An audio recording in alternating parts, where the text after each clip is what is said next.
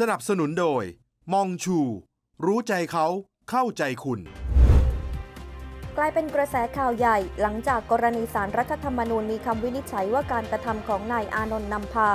นายพานุพงษ์จัดนอกหรือไม่ และนางสาวปนัสยาสิทธิจิรวัฒนกุล หรือรุ้ง ที่ชุมนุมปราศัยเมื่อวันที่ 10 สิงหาคม 2563 ที่มหาวิทยาลัยธรรมศาสตร์ ศูนย์รังสิต โดยมีการเสนอข้อเรียกร้อง 10 ข้อ ในการปฏิรูปสถาบันพระมหากษัตริย์ รวมทั้งเครือข่ายเป็นการใช้สิทธิหรือเสรีภาพเพื่อล้มล้างการปกครอง ระบอบประชาธิปไตยอันมีพระมหากษัตริย์ทรงเป็นประมุขตามรัฐธรรมนูญมาตรา 49 วรรคหนึ่งจึงมีคำสั่งให้เลิกการกระทำ จากนั้นแอมเมลีนจิลรองผู้อำนวยการสำนักงานภูมิภาคฝ่ายวิจัย Amnesty International ได้ออกมาวิพากษ์วิจารณ์ปกป้องกลุ่มม็อบราษฎรว่า แม้คำวินิจฉัยนี้จะไม่มีบทลงโทษหรือค่าปรับ แต่มีผลกระทบเกิดขึ้นอย่างกว้างขวาง เป็นสัญญาณอันตรายสำหรับประชาชนชาวไทยหลายหมื่นคน ที่แสดงความเห็นหรือวิจารณ์อย่างชอบธรรมต่อบุคคลสาธารณะหรือสถาบัน ทั้งโดยการแสดงความเห็นทางตรง หรือแสดงความเห็นทางออนไลน์ ซึ่งอาจนำไปสู่การดำเนินคดีข้อหาร้ายแรงต่อแกนนำทั้ง 3 คน และบุคคลอื่น ๆ อีกมาก โดยฐานความผิดล้มล้างการปกครองนี้ มีโทษจำคุกตลอดชีวิต หรือโทษประหารชีวิต ถ้าคำวินิจฉัยนี้มีเจตนาเพื่อทำให้ประชาชนหวาดกลัว และขัดขวางพวกเขาจากการพูดคุยเกี่ยวกับประเด็นเหล่านี้ ผลที่ออกมาจะตรงกันข้าม ดังที่เห็นจากการติดแฮชแท็กอย่างกว้างขวาง การส่งทวิต และข้อความทางโซเชียลมีเดียมากมายทันที หลังศาลมีคำวินิจฉัย ประชาชนชาวไทยกว่า 200,000 คนได้ลงนามในจดหมายเรียกร้อง ให้ยกเลิกมาตรา 112 หรือกฎหมายหมิ่นประมาทกษัตริย์ ในประมวลกฎหมายอาญาของไทย ไม่จบเท่านั้นนางสาวปิยนุชโคตรสารผู้อำนวยการ Amnesty International ประเทศไทยยังเปิดตัวแคมเปญเขียนเปลี่ยนโลก ด้วยการเชิญชวนให้มาเขียนจดหมายล้านฉบับให้แก่ผู้ที่ถูกละเมิดสิทธิมนุษยชน โดยระบุใจความสำคัญว่าวันนี้ Amnesty International ทั่วโลกเปิดตัวแคมเปญ Right for Right หรือเขียนเปลี่ยนโลก ซึ่งกลับมาอีกครั้งในปีที่ 20 ที่จะเชิญชวนผู้สนับสนุนจากทั่วโลกเขียนจดหมายหลายล้านฉบับ ให้กับผู้ที่ถูกละเมิดสิทธิมนุษยชนหรือครอบครัวโดยตรง เพื่อให้พวกเขารับรู้ว่าไม่ได้ต่อสู้เพียงลำพัง นอกจากการส่งข้อความเพื่อให้กำลังใจผู้ถูกละเมิดสิทธิ์แล้ว ในตอนท้ายนางสาวปิยนุชระบุด้วยว่า โดยปีนี้เคสของรุ้งปนัสยาสิทธิจิรวัฒนกุล จากประเทศไทยได้เข้าร่วมเป็นส่วนหนึ่งของแคมเปญนี้เป็นครั้งแรกด้วย และ Amnesty International ประเทศไทย ได้เน้นรณรงค์ช่วยเหลือทำให้ นายเสกสกลอัฐาวงหรือแรมโบ้อีสาน ผู้ช่วยรัฐมนตรีประจำนายกรัฐมนตรี เดินหน้าทำแคมเปญรวบรวมรายชื่อคนไทยทั้งหมดจำนวน 1 ล้านรายชื่อ เพื่อยื่นเสนอให้ขับไล่ Amnesty International ประเทศไทย ไม่ให้มาแทรกแซงประเทศไทย หลังจากก่อนหน้าได้วิพากษ์วิจารณ์ว่าองค์กรแห่งนี้ อุปโลกตัวเองว่าเป็นองค์กรเพื่อสิทธิมนุษยชน แต่การกระทำนั้นเข้าข่ายสนับสนุนให้กลุ่มบุคคลกลุ่มหนึ่งละเมิดอำนาจศาล และละเมิดสิทธิมนุษยชนสถาบันพระมหากษัตริย์ และประชาชนส่วนใหญ่ ที่สำคัญองค์กรแห่งนี้ เป็นองค์กรต่างชาติไม่ควรยุ่งเรื่องสถาบันบ้านเมืองของไทยอย่างยิ่ง ทั้งนี้ในโลกโซเชียลต่างมีการแชร์โพสต์ เพื่อเรียกร้องให้มีการผลักดัน Amnesty International ออกนอกประเทศไทย ด้วยการระบุข้อความว่า ไม่มีอะไรมากแค่อยากจะบอกว่า get out amnesty จงออกไปจากประเทศซะ และจงอย่าแทรกแซงประเทศไทย มิฉะนั้นจะถือว่าเป็นกบฏ อีกทั้งยังมีการเคลื่อนไหวผ่านทางเว็บไซต์ change.org เพื่อร่วมลงชื่อสำหรับประชาชนที่เห็นด้วย และสนับสนุนในการขับไล่ Amnesty International ประเทศไทย ไม่ให้มาแทรกแซงประเทศไทย สอดรับกับท่าทีของนายอานนท์แสนน่าน ผู้ริเริ่มก่อตั้งหมู่บ้านเสื้อแดง อดีตประธานหมู่บ้านเสื้อแดงแห่งประเทศไทย ที่ออกมาขับเคลื่อนเรื่องนี้เช่นเดียวกัน ส่วนทางด้านนายนพดลพรมภาสิทธิ์ตัวแทนกลุ่มประสบนิกรปกป้องสถาบัน ประกอบด้วย 1. เครือข่ายคนออนไลน์ รับใช้แผ่นดิน หรือคอคอรอ 2. ศูนย์ช่วยเหลือด้านกฎหมายผู้ถูกล่วงละเมิดทางสังคมออนไลน์ หรือสอชอ 3. ศูนย์รวมประชาชนปกป้องสถาบัน หรือสอปปส 4. อาชีวะปกป้องสถาบัน 5. ประชาพักพิทักษ์สถาบันหรือปพส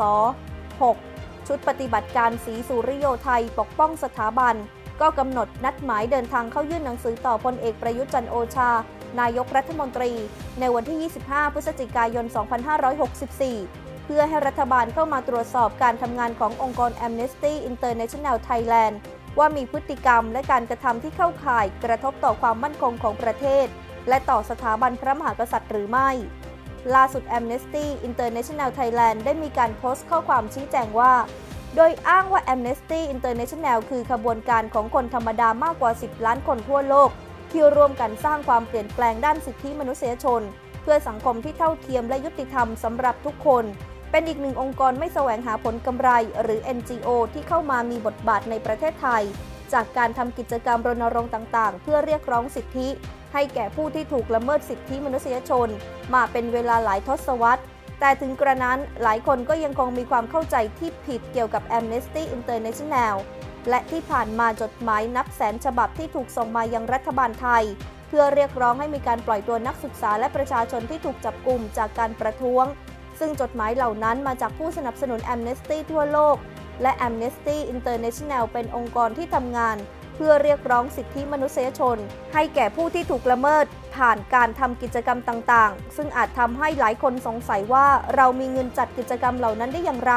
และบางคนมีความเข้าใจผิดที่ว่า Amnesty International เป็นองค์กรที่รับเงินมาจากรัฐบาลต่างประเทศ แต่ในความเป็นจริง เงินทุนสำหรับการจัดกิจกรรมของเราล้วนแต่มาจาก การรับบริจาคของบุคคลทั่วไปที่มีความสนใจ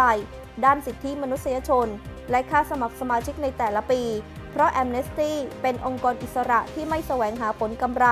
และปฏิเสธที่จะรับเงินสนับสนุนจากรัฐบาลหรือแหล่งทุนอื่น ๆ ประเด็นสำคัญ Amnesty International เป็นองค์กรที่รณรงค์ในประเด็นเกี่ยวกับสิทธิมนุษยชน โดยไม่ฝักใฝ่อุดมการทางการเมือง หรือลัทธิใด ๆ เน้นทำงานเกี่ยวกับการรณรงค์เพื่อให้เกิดความเท่าเทียม และการให้ความรู้เกี่ยวกับสิทธิมนุษยชน แก่ประชาชนทั่วไปเท่านั้น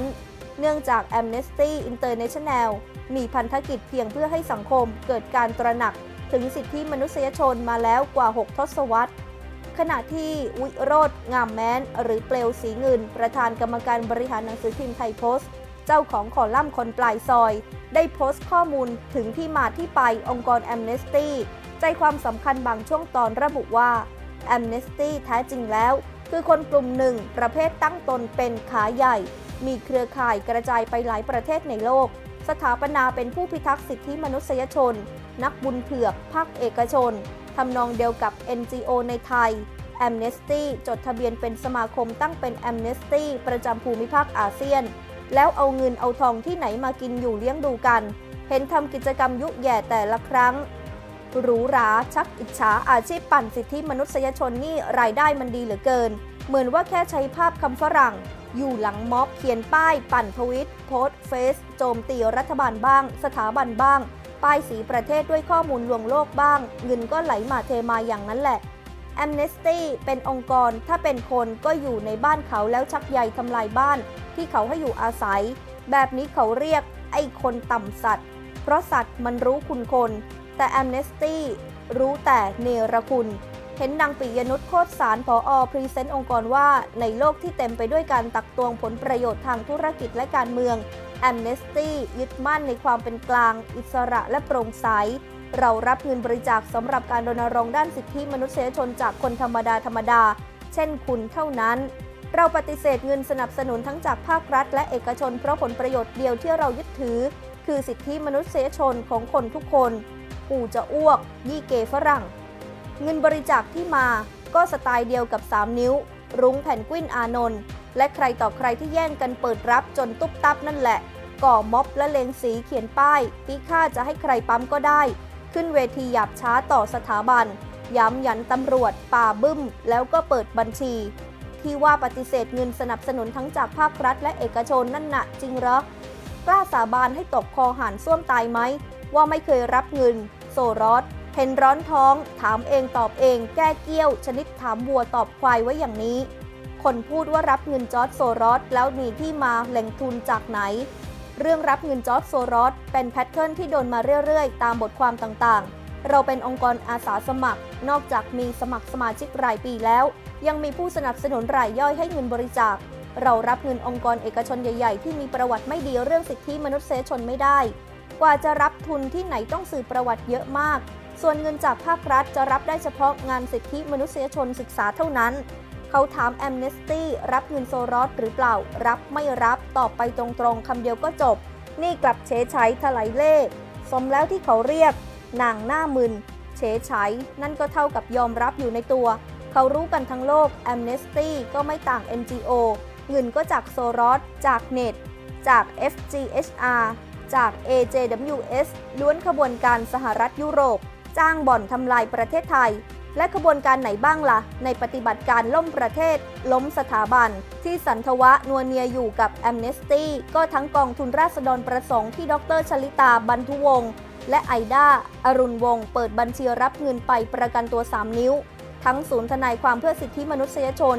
รับหน้าที่คอยดูแลด้านคดีความให้เนี่ย ทั้ง Amnesty กองทุนราษฎรประสงค์ ศูนย์ทนายสิทธิ และขบวนการ 3 นิ้ว บวกพวกจานเข้าหมา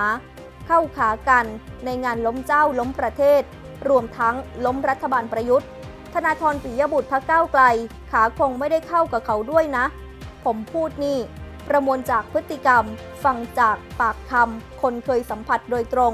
กับสถุนนอกชาติบ้างก็ได้ ถือเป็นประจักษ์พยานได้เลยนายอานนท์แสนน่านอดีตประธานหมู่บ้านเสื้อแดงแห่งประเทศไทยที่ตอนนี้ กลับเข้าในร่มเงาไตรรงแล้วกำลังเดินตามศาสตร์พระราชา โคกหนองนาโมเดลอยู่ที่อุดรธานี ตอนนี้กำลังรวบรวม1ล้านรายชื่อ Get Out Amnesty ตามแคมเปญดรเสกสกลหรือแรมโบ้เขาเปิดเผยพฤติกรรมแอมเนสตี้และพวกทูตสันดานเถื่อนไว้แพร่หลายในเฟซ